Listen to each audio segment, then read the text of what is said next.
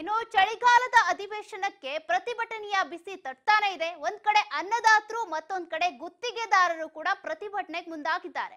ಬೆಳಗಾವಿಯಲ್ಲಿ ವಿದ್ಯುತ್ ಗುತ್ತಿಗೆದಾರರ ಸಂಘದಿಂದ ಕೂಡ ಹೋರಾಟ ನಡೀತಾ ಇದೆ. ವಿವಿಧ ಬೇಡಿಕೆಗಳನ್ನ ಈಡೇರಿಸಿ ಅಂತ ಆಗ್ರಹಿಸುತ್ತಿದ್ದಾರೆ ಬೃಹತ್ ಪ್ರತಿಭಟನೆಗಳಿಂದ ಈಗ ಸಿದ್ದರಾಮಯ್ಯ ಸರ್ಕಾರಕ್ಕೆ ಬಿಸಿ ಮುಟ್ಟಿಸುವ ಪ್ರಯತ್ನ ಆಗ್ತಾ ಇದೆ. ಸಿದ್ದರಾಮಯ್ಯ ಸರ್ಕಾರದ ವಿರುದ್ಧ ಧಿಕ್ಕಾರ ಕೂಗ್ತಿದ್ದಾರೆ. ಶೂನ್ಯ ಬಿಲ್ ಲೆಕ್ಕಕ್ಕೆ ಒಂದಷ್ಟು ಪ್ರತಿಭಟನೆ ಹೆಸ್ಕಾಂ ಸಾಫ್ಟ್ವೇರ್ ಆನ್ಲೈನ್ ಸೇವೆ ಕುಂಠಿತ ಸರಿಪಡಿಸಬೇಕು. ಶೂನ್ಯ ಬಿಲ್ ಲೆಕ್ಕಕ್ಕೆ ಪಡೆದು ಬಿಲ್ ಸಂದಾಯ ಮಾಡೋದಕ್ಕೆ ಆಗ್ರಹಿಸ್ತಾ ಇದ್ದಾರೆ. ಹೆಸ್ಕಾಂನ ಸಾಫ್ಟ್ವೇರ್ ಆನ್ಲೈನ್ ಸೇವೆ ಈಗ ಕುಂಠಿತ ಆಗ್ತಾ ಇದೆಯಲ್ಲ, ಅದನ್ನ ಸರಿಪಡಿಸಬೇಕು ಅನ್ನುವಂತ ಒತ್ತಾಯ ಕೂಡ ಕೇಳಿ ಬರ್ತಾ ಇದೆ.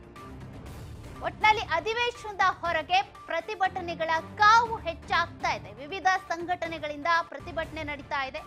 ಒಂದ್ ಕಡೆ ಹಳ್ಳಿಗಳಿಗೆ ಒದಗಿಸಬೇಕು ಅಂತ ಪ್ರತಿಭಟನೆ, ಮತ್ತೊಂದ್ ಕಡೆ ರೈತರಿಂದ ಪ್ರತಿಭಟನೆ, ಇನ್ನೊಂದ್ ಕಡೆ ಗುತ್ತಿಗೆದಾರರ ಸಂಘದಿಂದ ಕೂಡ ಪ್ರತಿಭಟನೆಗಳು ನಡೀತಿದ್ದಾವೆ. ಸರ್ಕಾರವನ್ನ ಎಚ್ಚರಿಸುವಂತ ಕೆಲಸ ನಡೀತಾ ಇದೆ.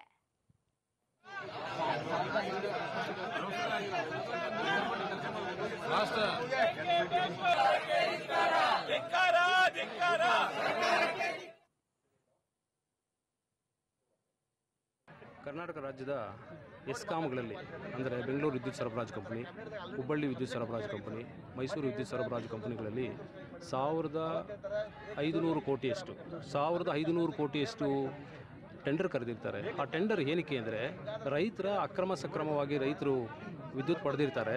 ಅವರಿಗೆ ಮೂಲಭೂತ ಸೌಲಭ್ಯ ಕಲ್ಪಿಸ್ಲಿಕ್ಕೆ ಟೆಂಡರ್ ಕರೆದಿರ್ತಾರೆ. ನಮಗೆ ಟೆಂಡರ್ ಕರೆದು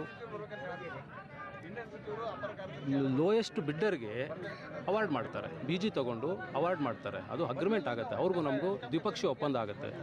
ಆ ನಂತರ ಸರ್ಕಾರ ಬದಲಾವಣೆ ಆಗುತ್ತೆ. ಬದಲಾವಣೆ ಆದ ನಂತರ ಇದನ್ನು ನಾವು ಕ್ಯಾಬಿನೆಟ್ಗೆ ತೊಗೊಂಡು ಹೋಗಬೇಕು. ಕೆಲಸ ನಿಲ್ಲಿಸಿ ಅಂತ ಹೇಳಿರ್ತಾರೆ. ಸರಿ, ಹೊಸ ಸರ್ಕಾರ ಬಂದಾಗ ಸಹಜವಾಗಿ ಇದ್ದೇ ಇರ್ತದೆ. ಸರಿ ಅಂತ ಕ್ಯಾಬಿನೆಟ್ಗೆ ಹೋಯಿತು. ಕ್ಯಾಬಿನೆಟ್ಗೆ ಹೋದ ಮೇಲೆ ಕ್ಯಾಬಿನೆಟ್ಗೆ ಹೋಗಿ ಬಂದ ನಂತರ ಕ್ಯಾಬಿನೆಟಲ್ಲಿ ಡಿಸಿಷನ್ ಆಗುತ್ತೆ. ನೀವು ಕೆಲಸ ಮಾಡ್ಬೋದು ಈಗಾಗಲೇ ಟೆಂಡರ್ ಕರೆದಿರುವಂಥ ಟೆಂಡರ್ಸ್ಗೆ ಕ್ಯಾಬಿನೆಟಲ್ಲಿ ಆರ್ಡರ್ ಆಗಿದೆ. ಇಲಾಖೆಯಲ್ಲಿ ಏನು ಹೇಳ್ತಾರೆ, ನಮಗೆ ಮೌಖಿಕವಾಗಿ ಆದೇಶ ಇದೆ, ಅಧಿಕೃತವಾಗಿ ಮಾಡಿ ಅಂತ ಇದೆ, ಬಟ್ ಮೌಖಿಕವಾಗಿ ನಮಗೆ ಕೆಲಸ ಮಾಡಬೇಡಿ ಅಂತ ಹೇಳ್ತಿದ್ದಾರೆ. ಸಾವಿರದ ಐದುನೂರು ಕೋಟಿ ಎಷ್ಟಿದೆ. ಮೌಖಿಕವಾಗಿ ನಮಗೆ ಕೆಲಸ ಮಾಡಬೇಡಿ ಅಂತ ಹೇಳ್ತಾರೆ. ನಾವು ಸುಮಾರು ಒಂದು ಇನ್ನೂರೈವತ್ತು ಜನಕ್ಕೆ ಅವಾರ್ಡ್ ಆಗಿದೆ ಮೂರು ಎಸ್ಕಾಮ್ಗಳಲ್ಲಿ. ಏನಿದ್ರ ಉದ್ದೇಶ? ಮೂರನೇ ಪಾರ್ಟಿನ ನೇಮಕ ಮಾಡಿದ್ದಾರೆ. ವಸೂಲಿ. ಇದೇ ಸರ್, ಇದೇ ಸರ್ಕಾರನೇ ನೇಮಿಸಿದ್ದಾರೆ ಮೂರನೇ ಪಾರ್ಟಿನ. ಏನಕ್ಕೆ? ವಸೂಲಿ ಮಾಡಲಿಕ್ಕೆ.